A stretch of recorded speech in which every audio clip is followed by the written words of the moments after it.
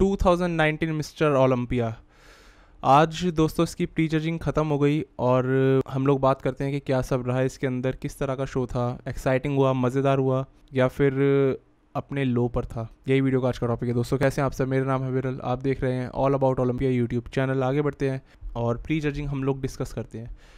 तो इसके अंदर देखो हमें मालूम था कौन कौन से बॉडी बिल्डर्स टॉप पे रहने वाले हैं। और कुछ वैसा ही हुआ। अगर मैं बात करता हूँ यहाँ पर फ़र्स्ट कॉल आउट की तो फ़र्स्ट कॉल आउट में आए थे हार्डी शुपन डेफिनेटली उनको आना था। Roelly Winklaar, William Bonac, Dexter Jackson, Steve Kuclo और ब्रेंडन करी। तो ये थे body builders first call out में। लेकिन मैं बोलूँगा, इस बार का जो लेवल रहा है मिस्टर ओलंपिया का, वो लगभग 20-25 साल के अपने लो पर रहा है। मैं ये नहीं कह सकता कि ऑल टाइम लो पर है, लेकिन हाँ जैसे हम पिछले 20 सालों से 10 सालों से देख रहे हैं ओलंपिया चैम्पियंस बनते हुए, वो लेवल अभी नहीं था। अभी ऐसा था ये, मुझे ऐसा लग रहा था देख करके कि आर्नोल्ड क्लासिक जो इस साल का हुआ था, वो ज़्यादा ऊँचे लेवल का था। उसका एक लेवल बहुत अच्छा था। उसमें बॉडी बिल्डर ज़्यादा कंडीशन ज़्यादा पील्ड थे और वो एक ज़्यादा वर्थी कंपटीशन था इस बार के मिस्टर ओलंपिया से।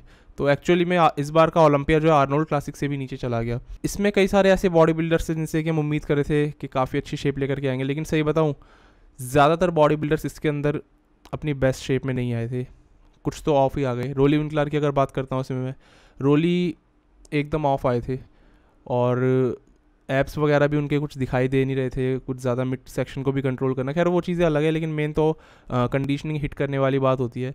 हालाँकि रोली का फेस जो एकदम सक डाउन नज़र आ रहा था उसके अंदर प्रेस कॉन्फ्रेंस के अंदर, लेकिन इसमें रोली की कंडीशनिंग मैं बोलूँगा इस बार के आर्नोल्ड क्लासिक में ज़्यादा अच्छी थी। तो रोली विंकलर इस तरह से थे। ब्रेंडन करी लगातार एक बात बोल रहे थे कि उनका वेट इतनी तेज़ी से नीचे नहीं आ रहा था। हालाँकि वो कार्डियो भी ज़्यादा कर रहे थे काप्स भी कम खा रहे थे, हर तरह से, लेकिन वेट इतनी तेज़ी से उनका ड्रॉप नहीं हो रहा था, क्योंकि वो मसल मैच्योरिटी ज़्यादा हिट कर रहे थे। लेकिन मुझे नहीं लगा ब्रांडन ने ऐसी कोई मसल मैच्योरिटी हिट करी या फिर ऐसे कोई डिफरेंट पैकेज उन्होंने दिखाया जो कि आर्नोल्ड क्लासिक से इसमें वो दिखाने की बात कर रहे थे। और आर्नोल्ड क्लासिक में डेफिनेटली ब्रांडन करी एक बहुत अच्छी, एक सुपीरियर कंडीशनिंग में थे, इसमें नहीं थे। इसमें ऐसा नहीं था। तो ब्रैंडन की फ़िज़ीक भी एकदम डाउन लगी मुझे और बाकी ग्लूट्स और हैमस्ट्रिंग्स वगैरह तो वैसे की वैसी थे। वही है कि आर्नोल्ड क्लासिक में ज़्यादा अच्छे लग रहे थे। पेट ये, लेकिन मैं देख रहा था मिड सेक्शन अपना कंट्रोल नहीं कर पा रहे थे पोस्ट टू पोस्ट वो एक चीज़ और अभी इनमें एक कमी नज़र आ रही थी। लेकिन हाँ एक चीज़ उन्होंने अच्छी करी, जो फ्रंट और बाइसेप पोस्ट था, वो उन्होंने इस बार कुछ अलग तरीके से थोड़ा हिट करा है। कुछ ऐसा जैसे कि रोली विंकलर हिट करते हैं तो वो एक इम्प्रेसिव चीज़ लगी मुझे। और ओवरऑल स्ट्रक्चर तो उनका बहुत ही अच्छा है, लेकिन कंडीशनिंग ना। बात अगर मैं करता हूँ इसमें हाड़ी शुपान की, हाड़ी शुपान एक ऐसे बॉडी बिल्डर माने जाते हैं जो कि अक्सर कंडीशनिंग हिट करते ही करते हैं और ठीक ऐसा उन्होंने इस वाले कंपटीशन में भी करा और काफ़ी अच्छे लग रहे थे। लेकिन मैं ये कहूँगा कि वो बेस्ट पर नहीं थे। बेस्ट उनकी वही फिज़िक थी जो कि उन्होंने अभी वैंकूवर प्रो में दिखाई थी। वो फिज़िक उनकी उस जैसी फिज़िक इसमें नहीं थी मिस्टर ओलंपिया में। हार्डी बहुत अच्छे थे, ऐसा नहीं था कि ऑफ़ लग रहे थे या फिर वाटरी लग रहे थे। हार्डी के साथ ऐसी कोई दिक्कत होती नहीं है। लेकिन मैं ये ज़रूर कहूँगा कि हार्डी उतने ज़्यादा एकदम ग्रेनी नहीं लग रहे थे। उनकी जो अपर बॉडी थी, वो देखने में पोजिंग करते करते जब लास्ट में बिल्कुल जो लास्ट कॉल आउट था इस गेम का, जिसमें कि सारे टॉप फोर बॉडी बिल्डर्स थे, उसमें इनकी बॉडी उतनी हार्ड नहीं लग रही थी। चेस्ट में उतने फाइबर्स नहीं आ रहे थे जो आमतौर पर आते हैं। इसमें अगर मैं लास्ट कॉल आउट की वो बात करूँ, जिसमें कि चारों बॉडी बिल्डर्स थे तो उसमें थे रोली विंकलर और Brandon Curry Hadi Choopan William Bonac इन चारों का नाम टॉप फोर में आ चुका है मतलब डेक्स्टर टॉप फोर से बाहर हो गए हैं अभी। तो अब बात करते हैं हम लोग विलियम बुनैक की। विलियम, मैं कहूँगा, अच्छे आए थे। विलियम ऐसा नहीं था कि ऑल टाइम बेस्ट पे थे, वो भी नहीं थे।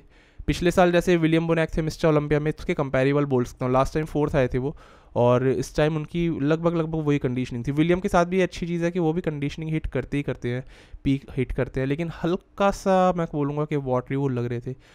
सही बोलूँ तो काफ़ी हद तक चांसेस मुझे विलियम बोनैक के लग रहे हैं कि कल वो जीत सकते हैं। विलियम और हार्डी में से एक चांस है। विलियम थोड़े से ज़्यादा हार्ड लगते हैं मुझे।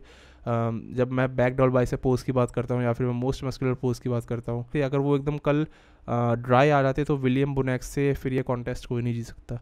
तो विलियम अच्छे लग रहे थे। ऑल टाइम बेस्ट पे कोई भी नहीं था लेकिन। बात अगर मैं करता हूँ यहाँ पे डेक्स्टर जैक्सन की। डेक्स्टर ने कहा था कि पिछले साल मेरे साथ ना तो चार्ल्स ग्लास ना उनके कोच जो है जॉर्ज फेरा भी उनके साथ में नहीं थे। इस बार चार्ल्स ग्लास भी आ गए जॉर्ज फेरा भी आ गए तो इस बार काफ़ी उनसे उम्मीदें थी, वो भी खुद समझ के चल रहे थे कि मैं मिस्टर ओलंपिया बनूँगा। और उनका बीसवा कॉम्पिटिशन था ओलंपिया का, काफ़ी बड़ी बात है, बीस बार खेल, बीस साल से खेलने लगातार। लेकिन डेक्स्टर को जब स्टेज पे हमने देखा तो डेक्स्टर फ्लैट नज़र आ रहे थे और वो सेपरेशन उनके अंदर अभी नहीं दिख रहा था जो सेपरेशन जो कंडीशनिंग उनकी टेम्पा प्रो के अंदर थी। तो अगेन डेक्स्टर भी अपनी पीक हिट नहीं कर पाए और चेस्ट साइड चेस्ट पोज उनका उसमें काफ़ी फ्लैट नज़र आ रहे थे वो। तो डेक्स्टर भी मैं कहूँगा कि उस तरीके से नहीं आ पाए स्टेज पर जैसे कि हम लोग उम्मीद कर रहे थे। बाकी कुछ एक आध बॉडी बिल्डर्स ने काफ़ी मेरे को इम्प्रेस किया जो, जो मुझे लगता है उसमें नाम आता है सैड्रिक मैकमिलन का। सैड्रिक मुझे लगता है सबसे ज़्यादा राउंड सबसे ज़्यादा फुल आए इस बार। और सैड्रिक को देख कर के ऐसा लगता है यार, अगर कल के कॉन्टेस्ट में वो एकदम ड्राई आ जाती हैं तो वो बहुत बॉडी बिल्डर्स का काम ख़राब कर सकते हैं। सैड्रिक को इन्होंने फ़र्स्ट कॉल आउट के अंदर नहीं डाला और उसकी वजह मुझे भी नहीं समझ में आई कि ऐसा क्यों रहा। हालाँकि उसकी जगह इन्होंने स्टीव कुकलो को डाल दिया, जो कि सैड्रिक से तो ज़्यादा इंप्रेसिव नहीं लग रहे थे। सैड्रिक ज़्यादा इंप्रेसिव थे सैड्रिक का नाम आना चाहिए था फ़र्स्ट कॉल आउट में, लेकिन नहीं डाला। और मैं कहूँगा कि one of the best Cedric McMillan थे ये ओलंपिया स्टेज पर, जो हमने देखे, एकदम राउंड आ रहे थे। और हल्का सा वही है कि वाटर वगैरह नज़र आ रहा था उनकी फ़िज़ीक में, अगर ड्राई आते हैं कल वो तो सैड्रिक बहुत इंप्रेसिव लगेंगे। और मुझे पर्सनली उनकी physique one of the best इस कंपटीशन में लगी, जो कि एक उन्होंने इम्प्रूवमेंट वाइज अपनी दिखाई है। तो ये चीज़ थी। स्टीव कुकलो मैं कहूँगा हाँ उन्होंने भी इम्प्रूव करा है पिछले साल से, इस बार अच्छे अच्छे दिख रहे हैं वो। तो उनकी फ़िज़िक भी अच्छी लगी, लेकिन फ़र्स्ट कॉल आउट में सैड्रिक ज़्यादा डिजर्व करते थे, ऐसा मेरा मानना है। उसके बाद अगर बात करता हूँ मैं ल्यूक सैंडो की। ल्यूक सैंडो का ये पहला मिस्टर ओलंपिया कॉन्टेस्ट था और ल्यूक सैंडो से भी काफ़ी उम्मीदें थी सब लोगों को। बाकी वही है ल्यूक सैंडो उसी तरह से आए थिक स्किन लेकर के अपनी, जिस तरह से वो आमतौर पे हमें दूसरे कॉम्पिटिशन्स में दिखाई देते हैं। और कंडीशनिंग वगैरह तो नहीं हिट कर पा रहा था, जिनमें से ज़्यादातर बॉडी बिल्डर्स की थी नहीं, वो तो एक समस्या हमेशा ही है। तो ल्यूक सैंडो आने वाले टाइम में कुछ बढ़िया कर सकते हैं, लेकिन अभी के लिए तो ऐसा कुछ मुझे नज़र नहीं आया। इसके बाद बारी आती है एक नए बॉडी बिल्डर की, जिसका कि कोई अंदाज़ा नहीं था, ना ज़्यादा हमने समझा था कुछ। वो है पैट्रिक मूरे। आप पैट्रिक मोरे की फ़िज़िक देखिए, काफ़ी ज़्यादा हद तक एक क्लासिक फ़िज़िक इनकी नज़र आती है। और इनके पोज टू पोज अगर मैं देखूँ तो बहुत इंप्रेसिव ही नज़र आ रहे हैं, क्यों पोज भी हिट कर लेते हैं। और साइज़ भी इनके अंदर अच्छा ऐसा नहीं है कि बहुत ज़्यादा साइज़ है, ठीक साइज़ है। इनकी फ़िज़िक में मेन नज़र आती है ब्यूटी सिमिट्री कह सकते हैं ना, वो चीज़ इनके अंदर नज़र आती है. अभी छोटी छोटी सी कमियाँ हैं, जैसे शोल्डर्स वगैरह में साइज़ नहीं है. ओवरऑल बॉडी के अंदर ही उतना साइज़ नहीं है. लेग्स उतने डेवलप नहीं है. साइज़ नहीं है साइज़ वाइज उतने नहीं है, लेकिन सेपरेशन पूरी बॉडी में बहुत अच्छा है. चेस्ट की जो मसल्स की जो शेप है, बहुत अच्छी है. एप्स जो है, बहुत बढ़िया नज़र आ रहे हैं. वेस्ट एकदम स्मॉल है. हर चीज़ इतनी इम्प्रेसिव लग रही थी. कंडीशनिंग वाइज भी बहुत अच्छी कंडीशनिंग लेकर आए आप ओलंपिया डेब्यू के अंदर. तो वो चीज़ भी इनके अंदर काफ़ी अच्छी थी। तो मैं ये मानता हूँ अगर टॉप टेन बॉडी बिल्डर्स में आते हैं तो बहुत बढ़िया रहेगा और इनको आना चाहिए। इनकी फ़िज़ीक एक अलग है। हम लोग मैंस ओपन के अंदर क्लासिक फ़िज़ीक नहीं देखते आज के टाइम में। वैक्यूम हिट करते हुए नहीं देखते इतनी आसानी से किसी को, पर ये इनके अंदर दोनों ही चीज़ें नज़र आई। तो आने वाले टाइम में काफ़ी कुछ कर सकते हैं। इम्प्रेसिव बॉडी बिल्डर लगे मुझे। तो बाकी यही है यार, कि जितने भी बॉडी बिल्डर्स थे, सबकी कंडीशनिंग मुझे लग रहा था किसी की भी उस लेवल पे नहीं थे या कोई भी अपने ऑल टाइम बेस्ट पर तो नहीं था। अच्छे थे बॉडी बिल्डर्स विलियम पुनाक अच्छे नज़र आ रहे थे हार्डी शूपन अच्छे नज़र आ रहे थे, पर अपने बेस्ट पे नज़र नहीं आ रहे थे। जिस तरह हमने इन लोगों को पहले वाले कॉम्पिटिशन्स में देखा है, उतने इंप्रेसिव तो नज़र नहीं आ रहे थे। हार्डी का मेरा ये मानना है हार्डी को लेकर के कि अगर वो कल ज़्यादा हार्ड आते हैं, एकदम ड्राई ड्राई तो आज भी आए थे, लेकिन हार्डनेस कहीं ना कहीं उनकी मिस हो रही थी पोज के एंड में जब वो, जब कंपटीशन ख़त्म होने वाला था। तो वो चीज़ उनको मेंटेन रखनी पड़ेगी।